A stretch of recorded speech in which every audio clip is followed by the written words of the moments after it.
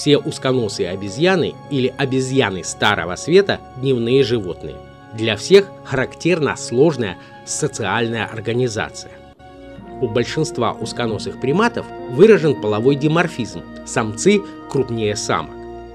Наиболее многочисленные из узконосых приматов – мартышковые. Группа, включающая таких известных обезьян, как павианы, мартышки и макаки. Яванский макак или макак-крабоед – пожалуй, самый необычный представитель рода. Продолжительность жизни около 15-20 лет. Из всех видов макак крабоед наиболее легкий и самый длиннохвостый. Эти макаки живут в группах от 10 до 50 особей. Как правило, количество самок в группах в 3-4 раза превышает количество самцов. Внутри группы существуют строгие иерархии как среди самцов, так и среди самок. Молодые самцы после вступления в половозрелый возраст обязаны покинуть группу, в то время как молодые самки в ней остаются.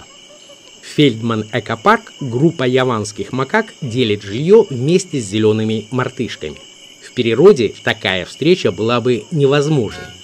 Все мартышки живут исключительно в Африке, в то время как макаки родом из Азии, за исключением одного вида – бесхвостого макака Магота.